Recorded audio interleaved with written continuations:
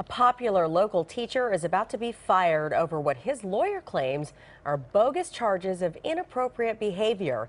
In fact, he's taking on the entire LA Unified School District in a class action lawsuit. KCAL9's Dave Lopez has the explosive words from attorney Mark Geragos. I'm calling for the complete shutdown of LAUSD. I think LAUSD is a completely corrupt um, uh, organization. His client wasn't present award winning and much renowned schoolteacher Rafe Esquith.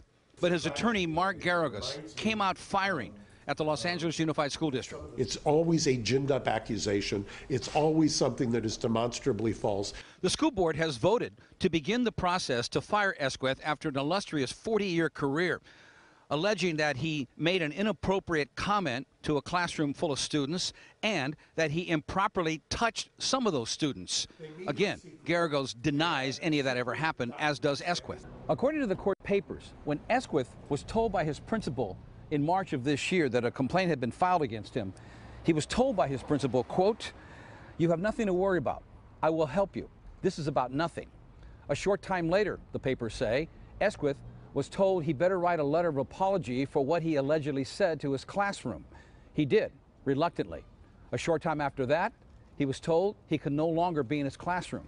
He was being suspended.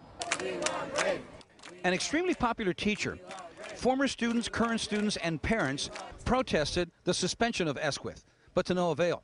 In his lawsuit, Geragos maintains that the LAUSD purposely focuses on older and better paid teachers drums up charges against them to suspend them so that their pensions and health benefits will be reduced. Geragos alleges that this practice has cost teachers more than a billion dollars combined.